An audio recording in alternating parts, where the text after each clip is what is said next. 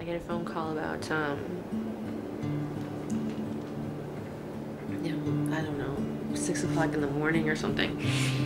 And anytime the phone rings at that time in the morning, it's always it always kind of scares you because who calls you at six o'clock in the morning, really?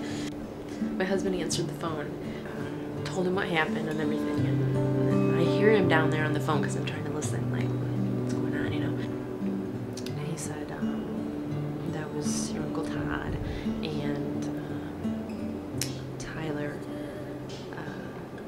committed suicide last night. Uh, I don't even think you know how to process that right at that moment because it's just shocking. I didn't know how to feel about it because, I mean, here's a kid that's, he's my blood, he's my brother. Um, but I've only known him for, I don't know, eight months, nine months, something like that. You know, I've really known him for nine months. And I've only met him once. But for some reason, it's just, it's still heartbreaking. It's still, I don't know, it's still just crushing. Um, maybe because it's a 12 year old kid. Maybe it wouldn't even have to be your brother, you know. It's just something about that that's wrong. On every level, it's wrong. So, uh, there was no question in my mind. Uh, we were going back down there. I wouldn't miss that funeral for the world. I didn't care what we had to do. We had no money back then, but I didn't care. I don't care. I said, it's fine. We'll we'll um, we'll charge some plane tickets and we'll, we'll just charge, charge, charge, charge, charge. So I don't care. It was one of the most heart wrenching things I've ever been through. I mean, uh, flight down wasn't so bad. So you're really just kind of trying to process everything and what, why, you know, what could possibly be so wrong in an 11, 12 year old's life, really. I mean, I mean, my daughter's almost 12 now, and I just, I that's just so crazy for me to fathom that she is now the age that Tyler was when he committed suicide. I mean, wow. I, I just can't fathom. Um, it's one of those things that they will never, I guess they'll never really know um, if his intent was to die, I guess, because he hung himself with the cords from um, uh, like the curtains or the blinds, I guess. Um, and uh, his younger sisters, uh, who were only like seven or eight, found him, um, but it was it was way too late.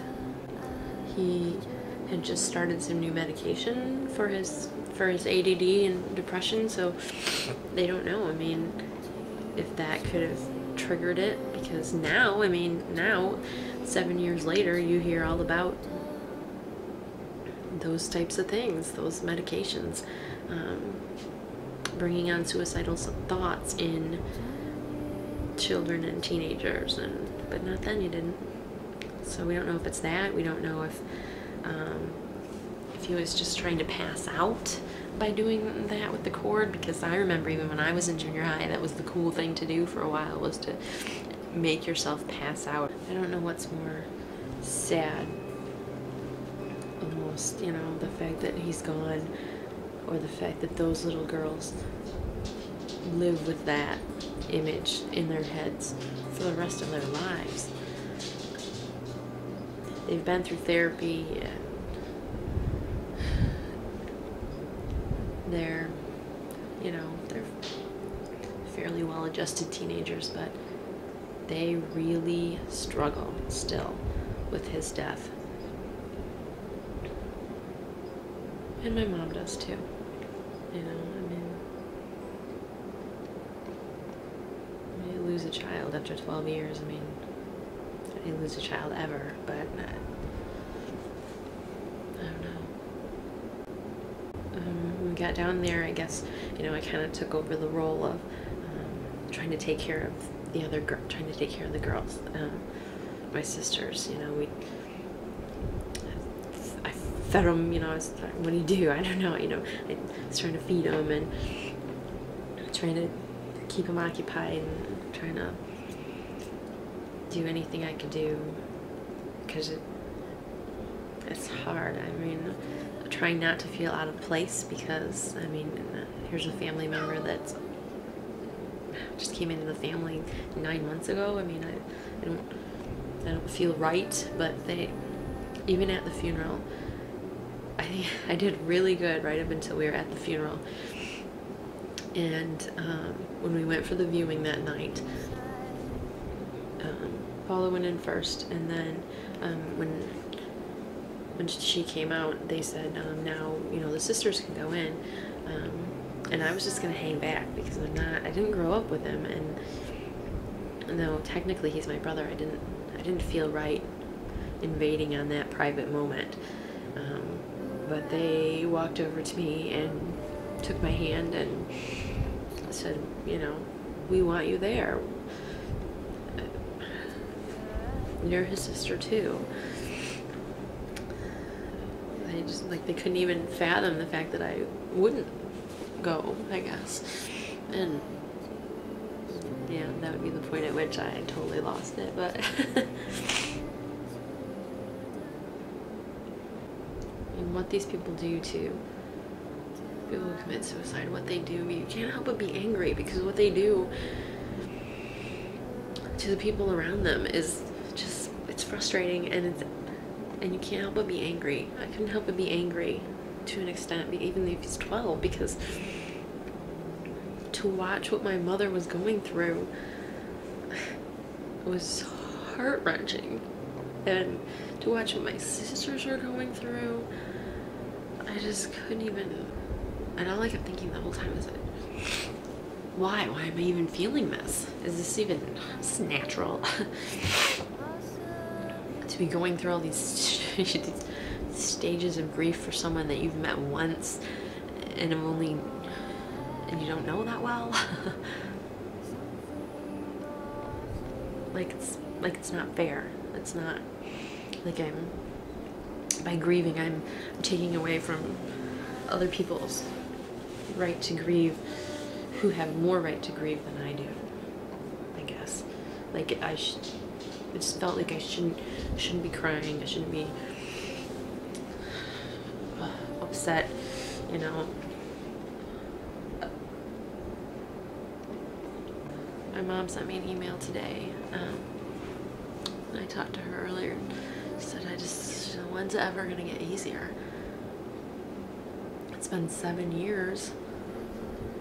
Shouldn't it be easier by now? and it is, like on a day-to-day -day basis, life is easier than it was those first couple of years without him, and no doubt. But, you know, there are still days that just tear her apart that just she aches for him and and the girls do too and I think it's she said part of her grief is for Tyler and part of what's killing her is knowing how much pain her girls are in and not being able to do anything about it. It's, it's almost more painful. Because at least she knows Tyler's somewhere good and he he's happy and comfortable now and we have to believe that. But the girls are suffering. And that's almost more painful